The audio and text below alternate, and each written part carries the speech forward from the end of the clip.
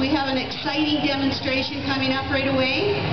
We have Sarah from Paws and Claws and Scout, her personal rescue dog. I wanted to say something about deaf dogs in general and dogs with disabilities. Don't write them off that they cannot be good pets. They can make excellent pets.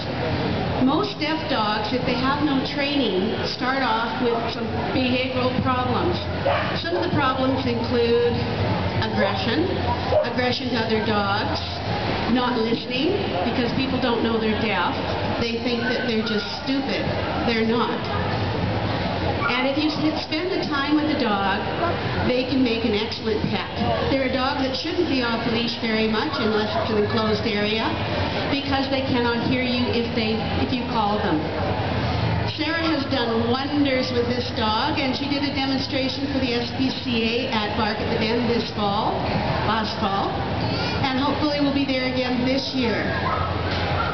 So we're going to turn it over to uh, Scout and Sarah. Sarah's had this dog for a period of time, and she's going to explain that to you. And uh, then I'll, I'll uh, commentate as to what she's doing. Okay, so I adopted Scout about a year and a half ago. She was um, in a pound for a while, and then and Claws brought her in. She was um, she wasn't uh, getting adopted. Nobody wanted to take on a deaf dog. She was a really good dog, very snuggly, very cuddly, but she had some issues. She had some dog aggression, which is common only if they haven't been socialized properly. And she was, um, she didn't listen. She pulled really hard on the leash. She didn't watch me. She just wanted to chase birds and lights and be a typical terrier, you know. So anyway, I decided to take her on, started training her. She took to it so fast. Once I started getting her to focus on me, everything just came naturally. She's a wonderful little dog writing her off just because she's deaf. Deafness in dogs is more common than you would think. There are a lot of deaf dogs due to breeding problems. Um, often Merle to Merle kind of crossbreeding in any breed of dog will cause deafness. I took a deaf Great Dane down to Spokane to a rescue down there because none of the rescues up here wanted to take him on. So a lot of people don't adopt them. They get euthanized um, or just ignored this one was dumped on the street. She was found wandering in Penhold.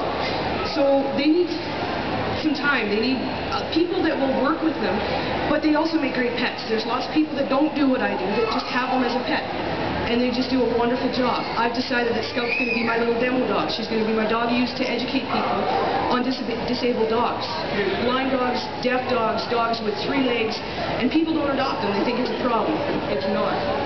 So I'll show you a little bit about what Scout knows how to do and what she does, and she's just awesome. When someone's training a deaf dog, and if you have a dog that's deaf, like um, Sarah was saying, it's common with the color merle. You see merle coloring in collies and that sort of thing. And also in white dogs, white cats, uh, so white sometimes carries the gene, not all the time, but in some breeds and some uh, types of dogs it does. So Sarah's had to learn another way to communicate with this dog, and dogs are very sight-oriented. They watch dog body language and people body language more than they are able to understand oral communication. And as you notice, if you've been watching, this dog hasn't taken its eyes off Sarah for more than a second or two at any one time. Scout is waiting for any kind of direction. So you're going to see using kindness, treats, and body language, in this case hand signals, how you can train a deaf dog or how a deaf dog can work for you. So Sarah's given the command for the dog to go into the heel position. And again, the dog is in the left side and walking in heel position and really watching Sarah. Now it's uh, pretty hard in here because there's a lot of distraction. There's all the smells of all the other dogs. So she has to really concentrate.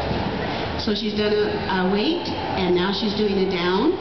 And Sarah's going to the other end, and she's going to call her. This is called a recall exercise, and in this case, a drop-on recall exercise. So she gave her the signal to come, and then the signal to drop or lie down. There she gave a signal to back up. Maybe we'll do that one again. Back up in the heel position, And she's going to back up away from the owner now. There we go. she's a little unsure of herself. There she goes, and now she's going to dance forward. Good girl. And you can see that this is a very lovable little dog. And deafness is not a problem. Just like as deaf hurt people, they're just as capable of love and affection as anybody else. Here she is doing some crawling. Crawling forward. Good girl. She's dropping down. And now she's going to do a rollover. So little Scout here probably knows more obedience than a lot of general pets do.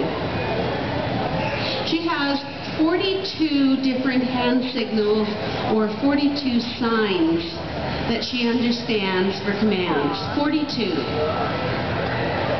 A lot of deaf uh, American Sign Language can be used, and in a lot of cases people have to make up little bits of signing as well. I also have helped train a few dogs that are deaf, and uh, if you're interested in adopting a dog with a handicap, please call Paws and Claws and they will put you in touch with anyone else who is going to help you do the training, and Sarah is a wonderful resource in that area. Here's Scout again.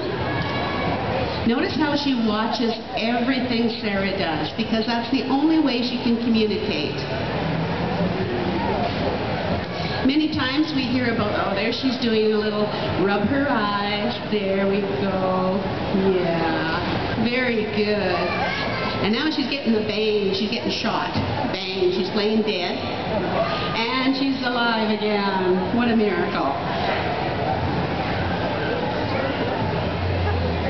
Again, any of these dogs, when they are impaired with sight or impaired with uh, audio problems, then there are ways that you can train them and work with them, and they make great dogs. And after all, dogs have helped humans for years. There are dogs that are the ears for some people. They let them know when the baby's crying. They let them know when uh, they let them know when the phone is ringing or someone's at the door. Um, there are dogs that are seeing eye dogs or handy dogs that help everybody from cerebral palsy, Parkinson's, or any other disability. Here she is doing the dumb dog trick that you've probably seen before where Sarah's going to put a treat on the dog's nose. She's going to do it from another angle now so you can see it from the other side. There you go. She's going to put a treat on the dog's nose. Oh, there he is. He's got it. Great job, Scout. So let's hear it for Sarah and Scout. Congratulations for a job well done, Sarah. There we are. And Scout is happy.